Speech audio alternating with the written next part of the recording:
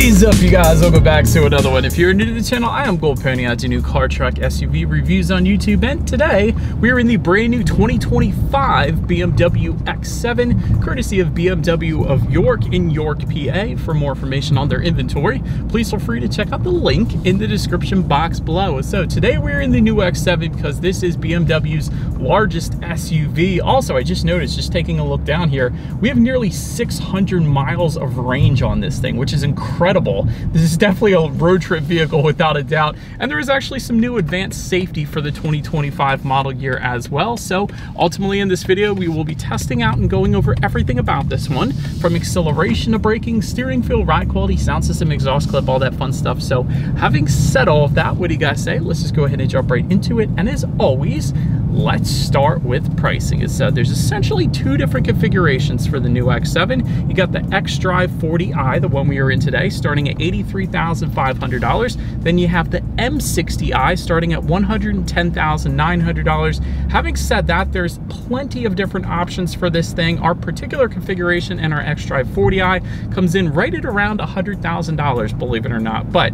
so you can imagine with those two different configurations, there are two different power plants available for the X7. First one belonging to the 40i trim level that we have today. That one is powered by a 3-liter twin-power turbocharged inline 6-cylinder, putting out 375 horsepower at 5,200 RPM, 398 pound-feet of torque, coming in at right around 1,800 RPM. That power being sent to all four wheels through an 8-speed automatic with paddle shifters and launch control, by the way. That's pretty cool. 0 to 60 time, approximately 5.6 seconds for this one. MPG numbers then coming in at 20 in the city, 24 on the highway highway taking premium unleaded fuel. But then there is the M60i trim level. That one, of course, powered by a more powerful 4.4 liter twin power turbocharged V8, putting out 523 horsepower at 5,500 RPM, 553 pound-feet of torque coming in at 1,800 RPM, power sent to all four wheels yet again through an 8-speed automatic with paddle shifters and launch control. 0 to 60 time for that one, 4.5 seconds. That's pretty impressive.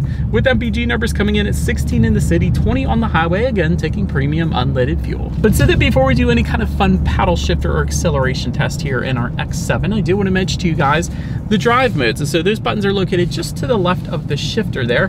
Drive modes will include Eco, Pro, Comfort, and Sport, adjusting things like the shift points, the throttle response, and the steering sensitivity. So now that we've got all of that out of the way, what do you guys say? Let's go ahead and find it straight away. Let's put those paddle shifters here to the test, and let's see how quickly these paddle shifters are going to react for us here. It's holding it too, good. Here we go. Instantaneous. I, I kind of expected that because I just got done reviewing the X5, but yeah, paddle shifters are instantaneous, which always surprises me, but it really shouldn't at this point. I, I should know BMW at this point, having reviewed them for like 10 years now. That is incredible. The paddle shifters are lightning quick. You don't expect that on SUVs. I don't expect that at least on SUVs, but BMW never lets me down with these paddle shifters. They are just so impressive. And even this is this isn't even the M60i. This is the xDrive 40i and they're still ridiculously quick. Very high quality as well. So big fan of them. I just get back full control to the X7 though. Let's now go ahead and find one more straightaway and let's see how quickly we can get our new xDrive 40i X7 here up to speed. All right, found our straightaway here. We're gonna do this from a standstill in three, two, one, go. There it is.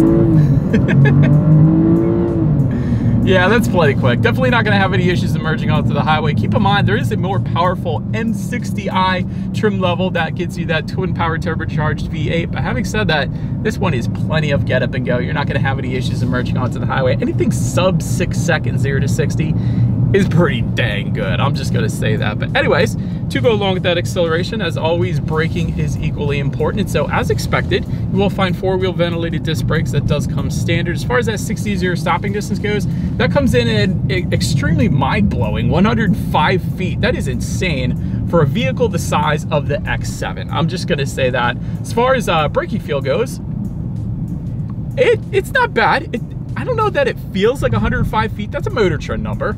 Um, but the braking feel is nice and I will say it's a little bit on the firmer side of things but 105 feet that is incredible if that number is right from Motor Trend and I would assume Motor Trend's got some credibility at this point that's that's like a sports car number that's absolutely ridiculous so yeah, there's nothing wrong with that. I don't know. It just didn't feel like 105 feet in my test drive here today. And my, I, I've been testing cars for quite a while now. It didn't feel like that, but the braking feel is still fine. But then touching on suspension and handling. Up front, you're gonna get a double wishbone type front suspension. In the back, a lightweight multi-link integral rear suspension, but also a two axle self-leveling air suspension that comes standard. So that's definitely gonna help you out with ride quality there, I will say that. And the M60i goes above and beyond all of that, adding rear axle steering, which I think I first saw on the uh, Maybach S-Class. That is pretty insane. And also an M Sport differential, which helps uh, distribute power between the rear wheels essentially to help prevent understeer as well. So those two are gonna be added with the M60i. As far as uh, ride quality goes in our short little test drive here today, it's one of the first things I noticed. Definitely an incredibly smooth ride. I guess that makes sense though with the two axle self-leveling air suspension. You would expect that from that, but definitely absorbing York's rotor perfections perfectly nicely. So very nice ride quality, a very good road trip vehicle for that reason. As far as steering feel goes, let me go ahead and actually uh, put it back in sport driving mode. It is a noticeable difference, 100%, dependent upon the drive mode that you put it in. So in that sport driving mode, it's a much heavier feel to the steering, better helping point you in the direction that you wanna go. But if you didn't want that heavier feel, just put it in the comfort driving mode, and it does loosen up a good bit. Still tends to lean on the heavier side of things, which I personally prefer. But uh, yeah, incredible steering feel in this thing. As far as cabin noise goes, we are going 25 miles per hour. It might not sound like that, but it is an incredibly serene cabin here in the X7 without a doubt. And of course, acoustic laminated glass does come standard. You would expect that in a vehicle like the X7, so that may be part of the reason why it is such a serene cabin in this thing. Touching our rear visibility, we do have the third row up right now. I, will say if you have that third row up, those third row headrests are definitely gonna impede visibility. They take up a lot of real estate back there, I will say that. So uh, put the third row down if you don't have it in use, I'll just say that. Rain sensing windshield wipers, they do come standard on the X7, touching on forward visibility. So that essentially is gonna turn on the windshield wipers. Whenever the car detects any kind of mist or rainfall, it's like automatic headlights, just one less thing you gotta worry about there. Then when I also add to all of that, a head-up display is gonna come standard on the M60i. It is available with the premium package on the 40i that we have today. If you're interested, that premium package goes for $1,850. So right now I am looking at my speed, speed limited safety features up on my windshield. We'll say it's a lot easier to see without sunglasses, but it is incredibly bright. One of the brightest head-up displays I've definitely seen. And the cool thing about BMW head-up displays is when you change the drive mode, it completely changed the look of the head-up display as well. Not just the digital gauges, but the head-up display. So it looks absolutely incredible. Well done, BMW. But Anywho, that pretty much rounds out the performance segment of this review, guys.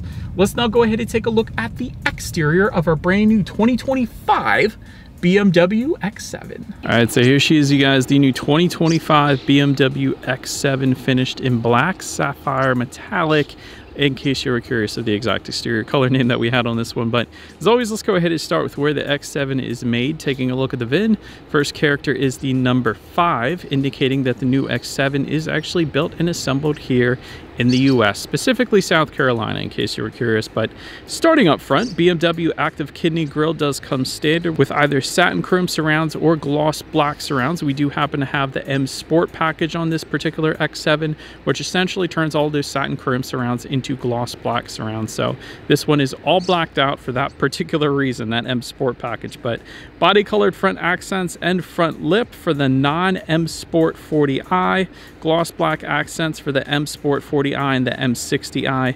Front air curtains to those bottom corners, helping direct air around the wheel and tire combination, of course. LED headlights with LED daytime running lights do come standard. You do get the automatic feature as well as automatic high beams. So if you have your high beams on at night and it senses a vehicle coming in the opposite direction, it's going to automatically dim them back to low beams. And when that vehicle is gone, it's going to automatically bounce it back up to high beams for you there. Did want to also mention though, there is an option uh, called crystal headlights. It's a pretty cool look. Really does look like crystals, but that goes for $2,100. And uh, I don't know if you guys saw that, but the grill shutters do keep opening and closing. So that is pretty cool. Hopefully you guys noticed that. Again, that's dependent upon the engine cooling that is needed at any given time. So hopefully you guys saw that in action. That pretty much rounds out the front end though.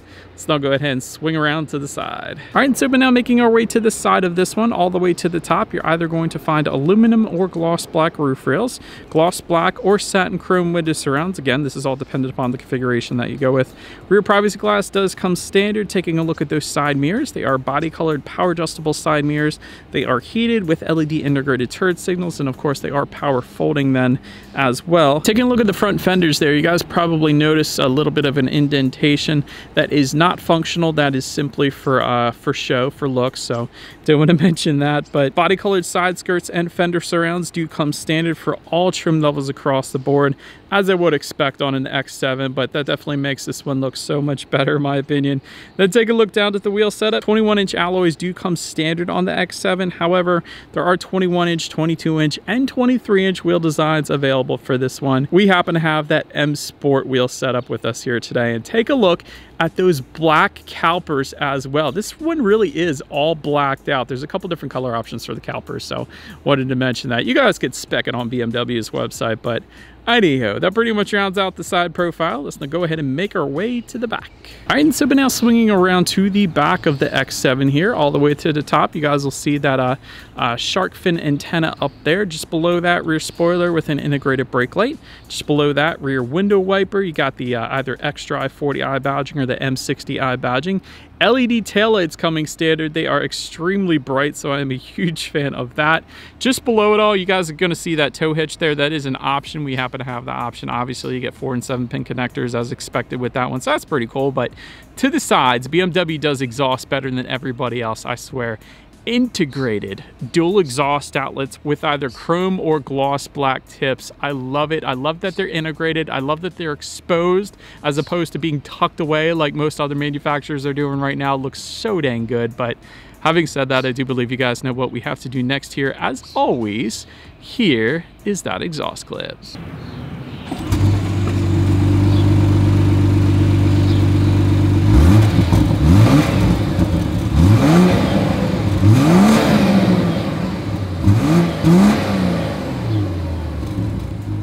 Right, so now since we are around to the back of the X7, when it comes to opening that rear tailgate, it is a power tailgate, of course, that does come standard. There's a button on the key fob, of course, there's a button on the tailgate itself then as well. But once opened up, cargo capacity comes in at 12.8 cubic feet behind that third row. Of course, you can fold the third row down, bumping that up to 48.6 cubic feet. Then with all rows folded, it actually comes in at a pretty darn impressive 90.4 cubic feet. That's a good bit, you guys. But anyways, velour carpeting does come standard in typical BMW fashion. I actually love that. It's pretty darn soft back there. Cargo cover does come standard. You got LED cargo lighting back there. There's grocery bag hooks. There are tie-down anchors as well.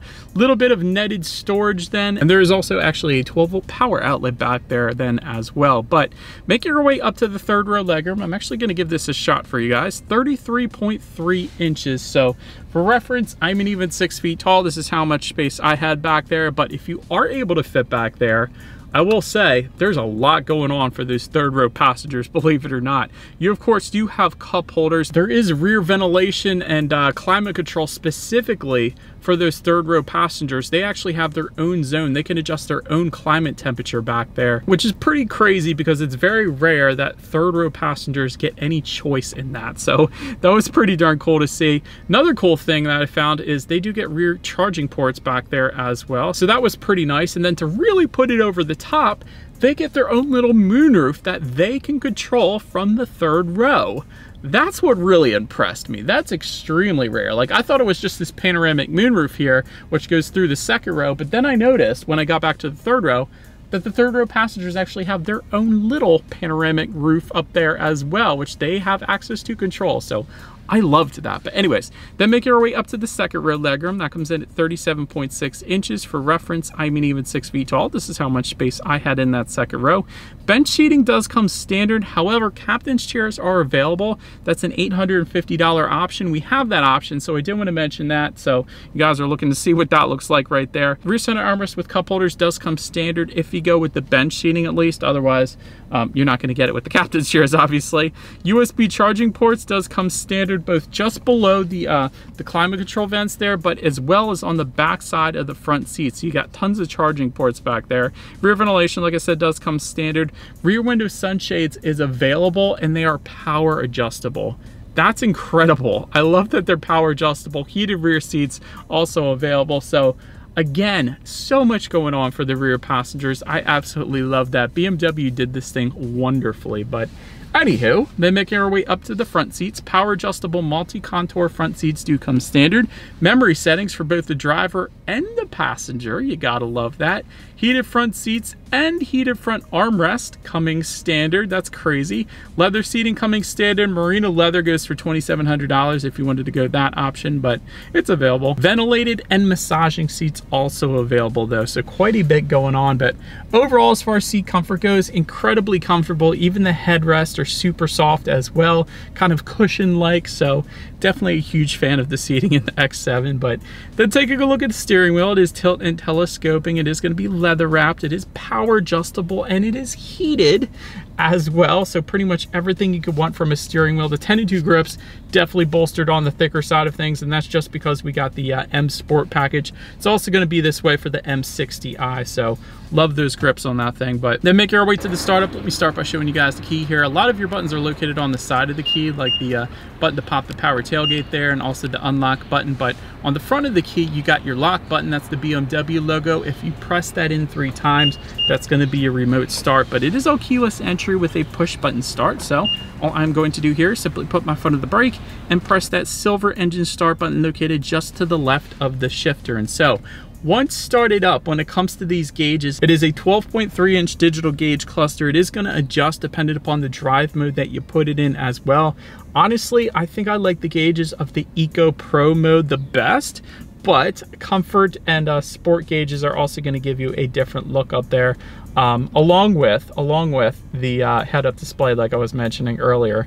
And of course with the self-leveling air suspension, I'm changing the drive modes. It is raising up and lowering the suspension. So with the sport driving mode, obviously the suspension is going to be lowered for better aerodynamics. With the comfort driving mode, it's going to be raised a little bit for a little better uh, enjoyable comfort for the suspension settings. But anyways, I probably should have mentioned that earlier. But back to the gauges, it tells you how many miles you have left until you hit empty, which like I said at the beginning of the video was like 588 when I first started driving this one. That is incredible. Gives you speed limit recognition, uh, outside temperature, pretty much everything you could possibly want on a digital gauge cluster. But now let's go ahead and make our way to overall interior quality. I want to first mention there's an Alcantara headliner. It comes standard on the M60i. It is optional on the 40i. We have that. It is so freakishly nice. But anyways, panoramic moonroof does come standard, believe it or not, on the X7. LED interior lighting, also standard. You got a universal garage door openers for up to three different garage doors found just below that frameless rear view mirror. You gotta love that.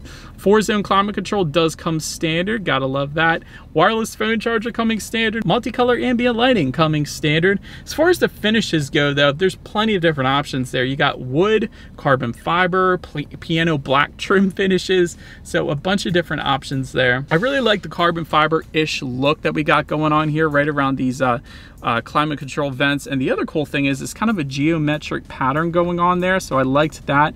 Also the actual buttons to adjust the climate control direction are finished in this texturized silver finish. So that was pretty cool. Just above the passenger side glove box, got the X7 lettering or logo, and it's gonna change color dependent upon the ambient lighting color that you select. So that's another really cool feature of that. But um, just in front of the shifter, you got a wireless phone charger. You got a little bit of storage next to that, 12 volt power outlet, USB charging port, couple cup holders, of course. Within the center armrest, there is a, a decent amount of storage in there. You got a USB charging port in there as well, but overall interior quality was incredible. Definitely finished very nicely. So you got no complaints from me BMW but now let's go ahead and make our way to that infotainment screen. It is massive. It is a 14.9 inch center infotainment screen. Uh, the way you control it it is touchscreen like I said and uh, there is a circular dial and buttons located just to the right of the shifter if that's easier for you while you're actually driving. So a couple different options there but Bluetooth and audio streaming does come standard. Wireless Android Auto Apple CarPlay. You got a appreciate that. Factory navigation system also coming standard. You can check out your climate control settings up there as well, along with your ambient lighting settings. So tons of different colors you can select up there. You can also adjust the brightness as well. All of your heated seat buttons, heated steering wheel buttons. There's a, Spotify icon. There's even YouTube actually. You have to set that up. But so I can't show that to you guys right now. Otherwise I would. But I love that YouTube is up there. That's pretty darn cool. But who's going to be watching YouTube while they're driving anyways? Radio information you can access up there of course as well. So when it comes to the sound systems. There are two of them. You're gonna find a 10 speaker hi-fi sound system with 205 watts coming standard on the xDrive 40i, but there is also a 16 speaker Harman Kardon sound system coming standard on the M60i optional on the xDrive 40i. So we do actually have that option. And by the way, that comes with 464 watts. So anyhow, let's go ahead and turn on the radio. Let's see what we got playing this morning and let's test out the clarity of this one. MercyMe is amazing. And by the way, did you guys see that gesture control? I can turn it up by just doing my finger in a clockwise motion here, or I can turn it down in the counterclockwise motion. So I love gesture control. But anyways, uh, incredible amount of bass, plenty of clarity. That's a lot of speakers, even in the vehicle the size of the X7. So that is a perfect sound system for this thing. But last thing I wanted to mention to you guys on that infotainment screen is when you do put the X7 in reverse, you will find a rear view camera coming standard across the board, but also that surround view monitor as well to the right there, giving you that bird's eye view, letting you know what is completely all around you, which is always is going to lead us into safety. And so first, let me start by saying I always mention IIHS first, but the X7 is actually not yet rated by IIHS, so I can't actually mention it. But anyways, front side side curtain airbags do come standard. In the back, of course, you got latch, aka lower anchors to tethers for children for the rear car seats, rear child door locks, tire pressure monitoring system, but also coming standard. Frontal collision warning, active blind spot detection, lane departure warning, speed limit info, and parking sensors actually do come standard as well. Then there is a driver assistance professional package that goes for $2,500, which is where the new advanced safety comes in for the 2025 model year. Essentially, the change they made for the 2025 X7 is with this particular driving assistance professional package, now rather than actually having the X7 change lanes via the, the turn signal indicators, you can now authorize a lane change by simply looking into the rear view mirror. So it's kind of got to know that you're checking your rear view mirror, so you're looking to see if anybody's there, and that's going to notify them that it's okay to change lanes, and of course it's only going to do it if it is safe to do so. So that's the update for 2025. Not a ton, but a little advanced safety update. But anyways, when it comes to my final thoughts of the X7, great driving dynamics. This thing has plenty of power. The paddle shifters were lightning quick, something you don't expect to find on a three-row SUV. Good cargo space as well, 90 cubic feet. That's dang impressive. Just for a little bit of comparison here, I got some numbers. The Mercedes-Benz GLS comes in at 84 cubic feet, so substantially more than that.